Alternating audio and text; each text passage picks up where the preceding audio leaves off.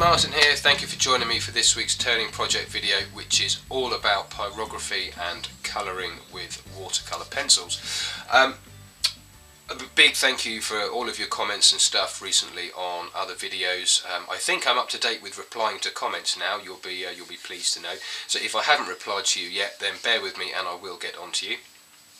Uh, this week's project video is an 11 inch sycamore platter. Um, the bottom has been stippled with um, pyrography and there's a um, my usual maker's mark in the bottom. And then on the inside here is um, a pentagram of sycamore leaves on a blue background. So it kind of looks like you're looking up through a canopy on a bright summer's day as you're lying back in the park reading a book and this is what you can see. And I loved turning this piece. Um, it was an absolute joy it's taken about five hours I guess um, from start to finish and there will definitely be more to follow. Um, please do like, share and subscribe if you have enjoyed uh, the video and if you um, have any comments then please do uh, leave them below. Everybody on my mailing list will receive um, a copy of the design in case anybody's interested in it and if you want to join the mailing list I'll send you a copy of the design for this too. So without further ado, here is the turning, pyrographying and watercolouring of the sycamore pentagram. Thanks for watching and I'll see you again soon.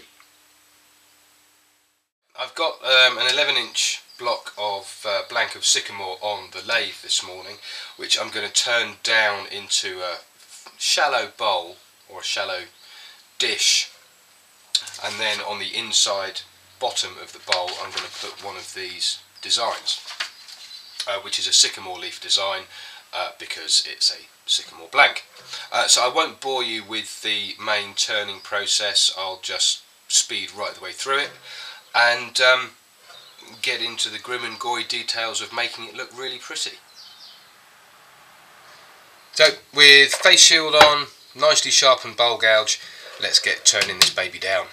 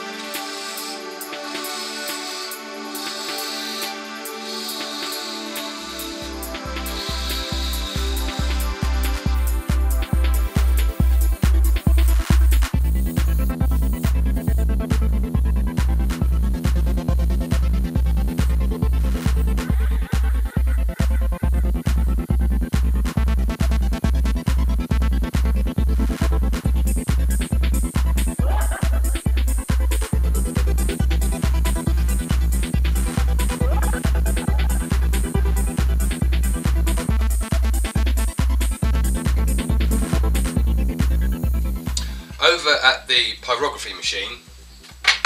Um, I've got a very thin um, bit um, nib point on the uh, on the pyrography pen itself I think you can see that. It's quite thin.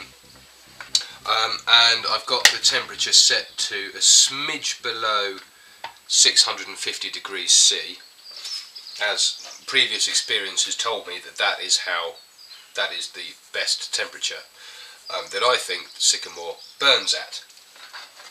Um, and a little piece of 600 grit paper that I can use just to clean off um, any residue from the tip to keep it nice and clean. Now on the foot here, um, the same as I'm going to do on the rim, I'm going to stipple with probably thousands of tiny little dots, um, a little pattern or random pattern on the bottom of uh, on the bottom of the piece here. Um, and so when it's reached temperature,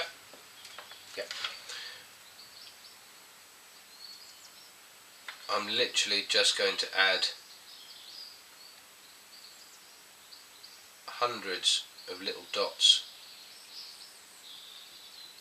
to the bottom of the piece.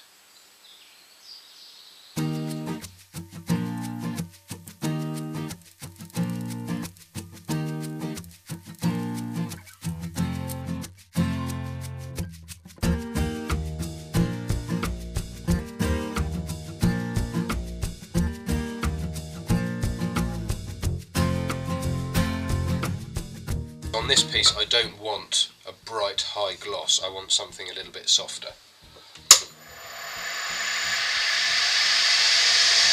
So I'm going to rub the sealer back with 0000Y wool.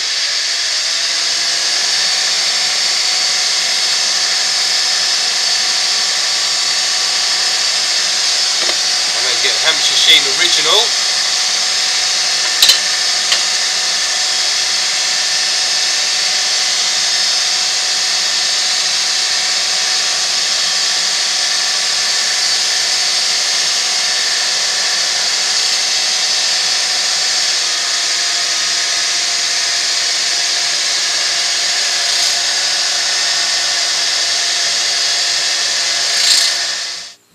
When it's dry you can buff it up with the lathe at high speed.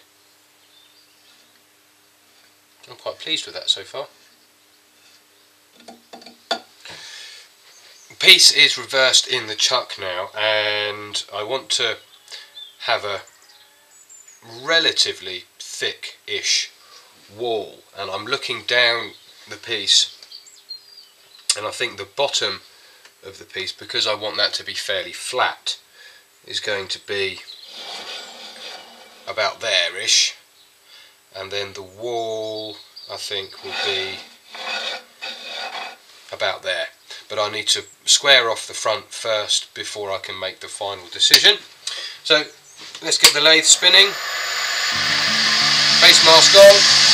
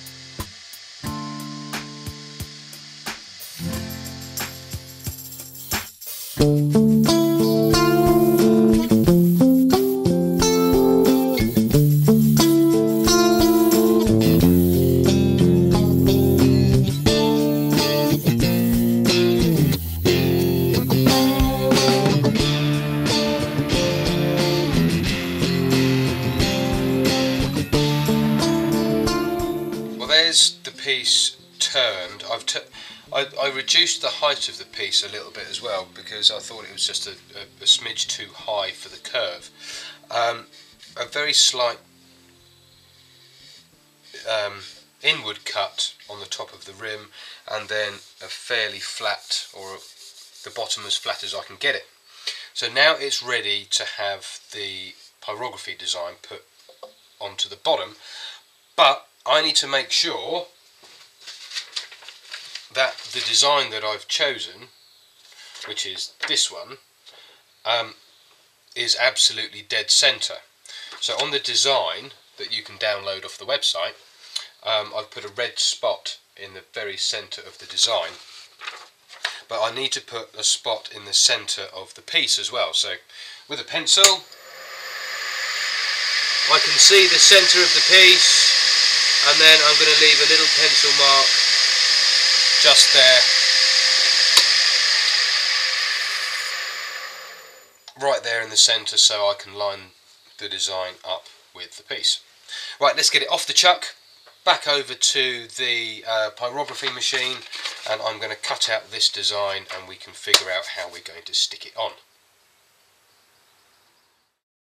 I've got the piece off the chuck and on the workbench and I've cut out the design that I want to use and I've orientated the piece how I I think how I want it to be. So I've worked out where the top and the bottom is like that. So there's some marking up here which I want at the top. And then I'm going to place the design in the centre like so and then using the compass first of all actually I need some tape. So I've got some of the the artist's masking tape or modeller's masking tape. Then pierce through the centre of the design with the compass.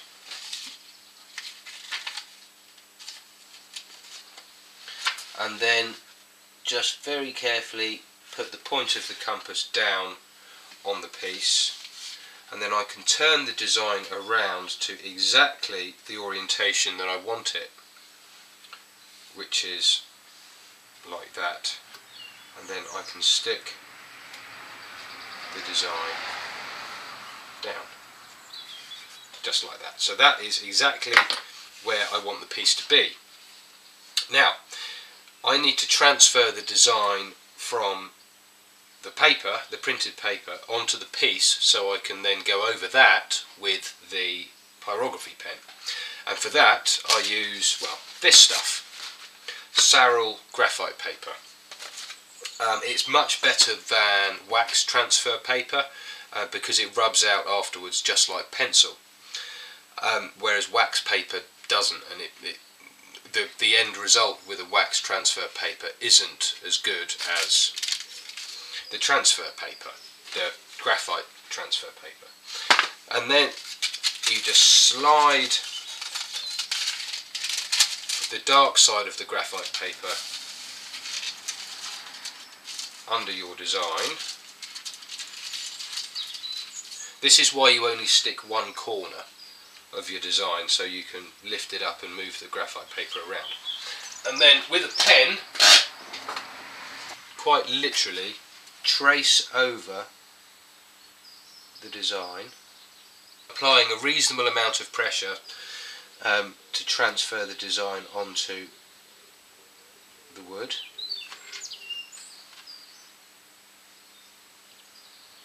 And working in the bottom of a bowl is quite tricky because your, your arm's at a funny angle.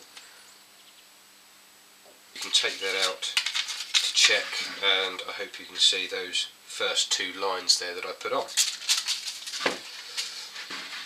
So I'm going to get on with the rest of um, the transfer process because for you guys it'll be very boring and believe me it's not it's not that interesting for me either and then when it's done I'll come back and show you what the transfer looks like.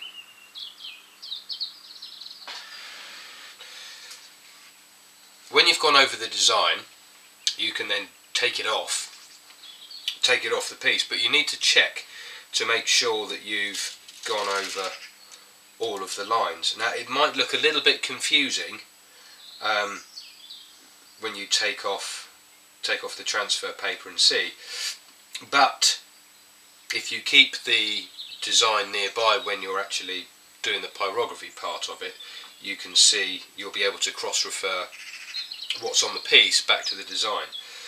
Now on the design here, I've got lots of the little tendrils coming off um, the leaves um, in the design, but I haven't put them onto the pyrography transfer because I want to make each ind individual leaf, well, individual. So they're going they're going to have um, different uh, different uh, tendrily bits on um, on uh, on each leaf.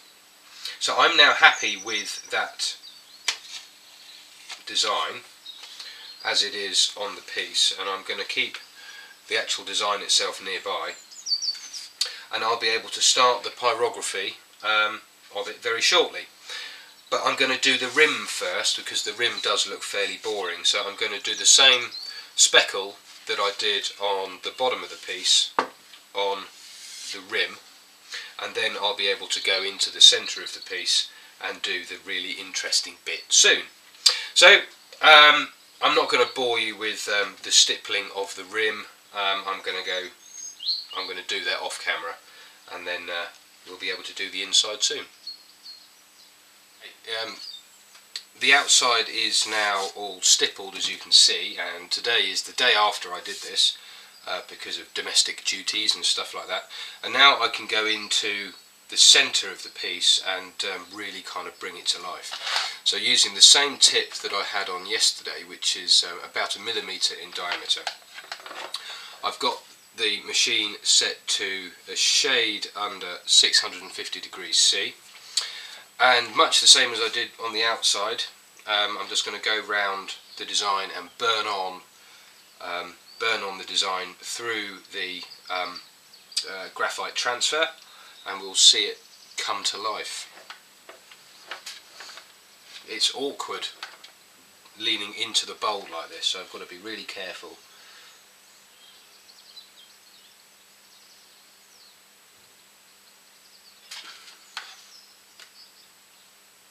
I'll just turn the temperature up to a tiny bit over 650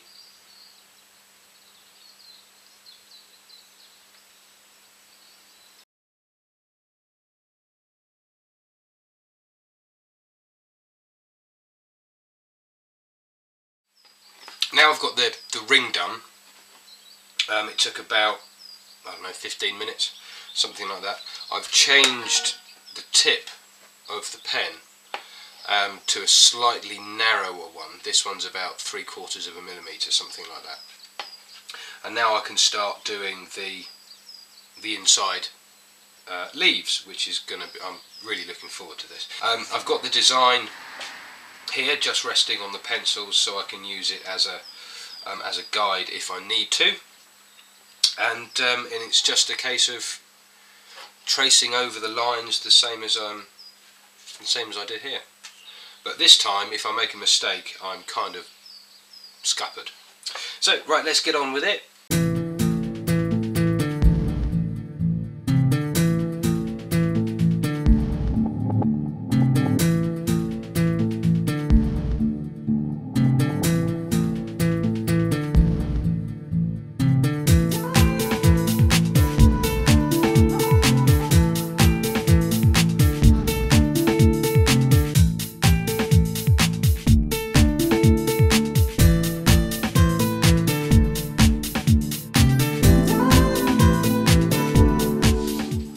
Design is now finished and if you look at the design design um, there are lots of little tendrils coming off of the sort of the stemmy bits in the leaf. I'm not sure of the technical term. Um, which I need to add and I'm going to do those freehand so using the same tip on the pen I'm just going to add in the tendrils quite lightly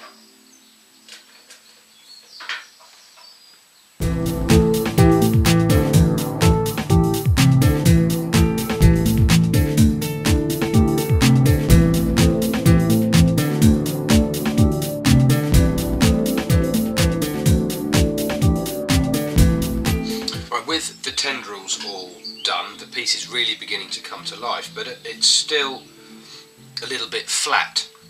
So what you do then is you add some shading um, beneath the parts of the design that are overlaid. Um, like this leaf here for example, this leaf here overlays this one with this part of its leaf and this part of its leaf. But this leaf overlays this leaf um, at this point. So we've got to add some shading around here and down here. And you do that with a shading tip, which is um, a flat spoon, kind of spoon shaped tip. And the way I do it is I lay the, the very tip of the piece, of, of the tip, the nib, on the line I want to shade from, put it on and drag it out, just like so and that just gives a little bit of shade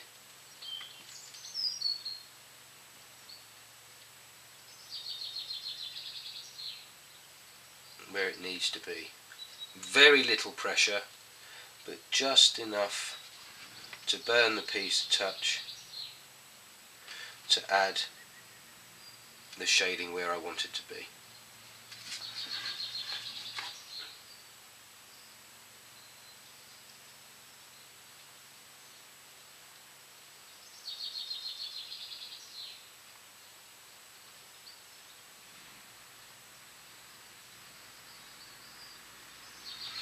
Just like so I, hope you can see that. That looks uh, that looks really super. I like that.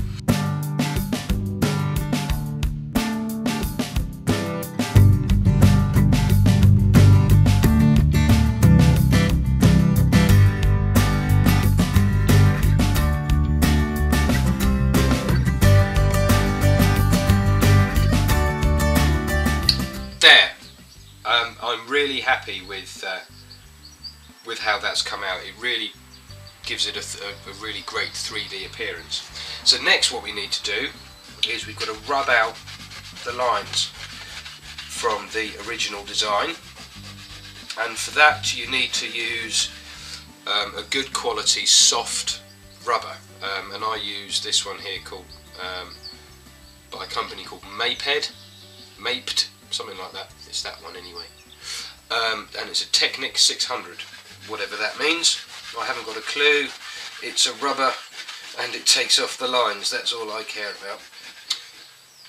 Lines all rubbed out and I've got out my watercolour pencils. I've got two sets here. Um, one is by a company called Mondeluz or Mondeluz, something like that. Um, and also a inexpensive set from uh, stationers here called W.H. Smith. I'm using two sets because I want lots of different shades of green. Now, although my normal set um, from WH Smith has um, one, two, three shades of green, um, I also want some other shades as well, just to kind of mix it up a bit. Uh, and you use watercolour pencils really easily. Um, you've got the pencil and you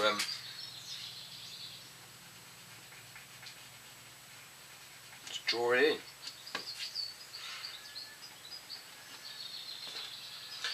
Um, and then I'm going to go around the shading, where I've done the shading, with um, a darker green. Bearing in mind that you're going to be applying water to this. So it, it doesn't have to be particularly good colouring because you'll you'll do it all kind of at the end with um, a paintbrush and water just to sort of blend it all in.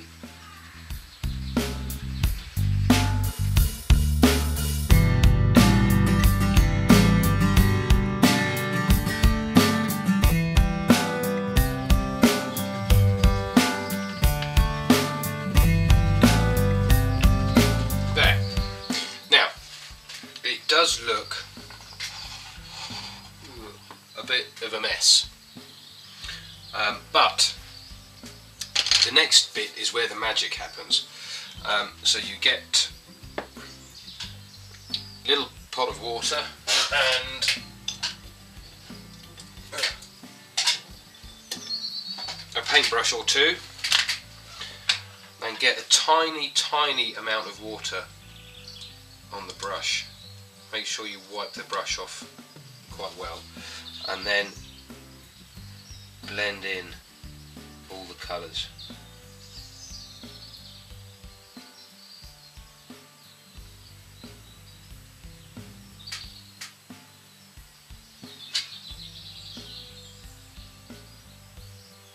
You do just need a tiny amount of water. Right, okay. Um, the sky blue's done and as you can see I've added quite a brave orange border to it and also round the outside here round the rim I've blended some blue and orange um, and all I need to do with that is um, is just go round and blend it in with um, with the brush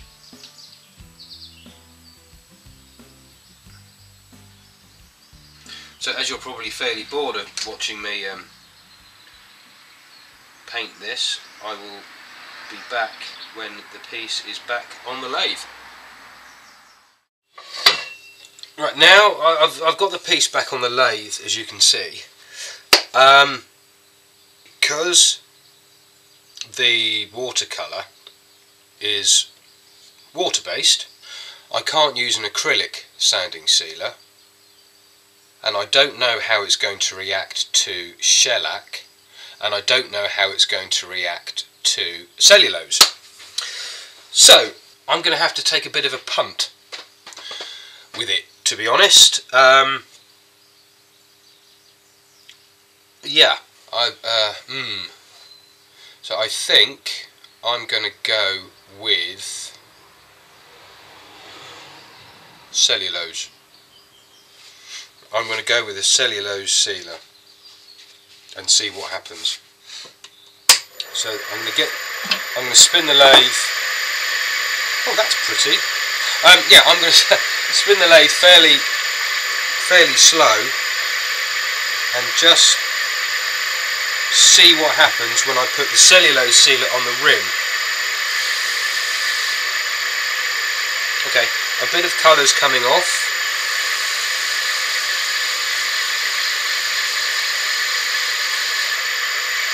But not a lot.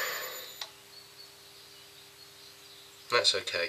Right, I think I'm going to spin the lathe and do the bare wood with the cellulose sealer.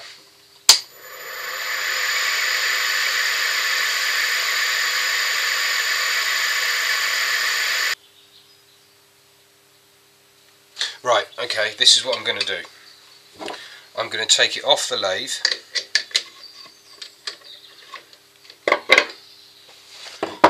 and then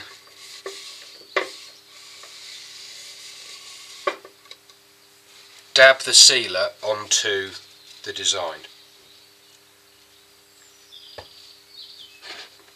Let it soak into the towel.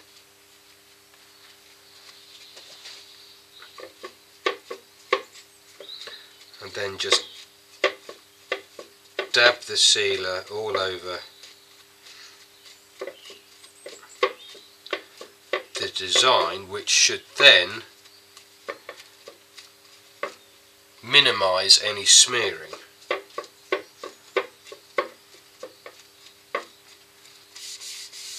Right, that'll do. Get it back on the lathe.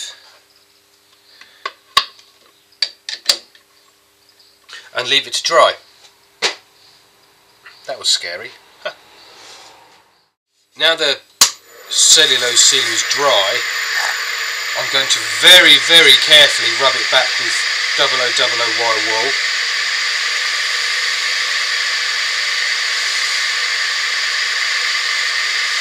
Virtually no pressure.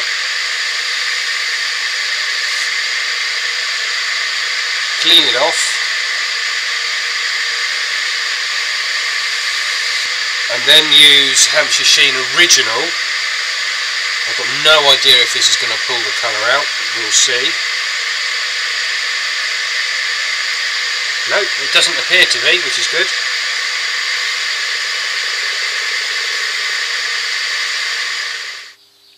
Yeah, that looks nice.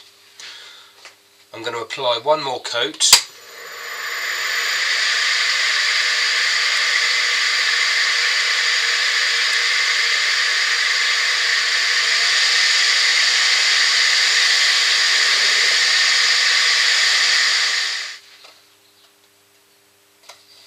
And then I'll buff it up.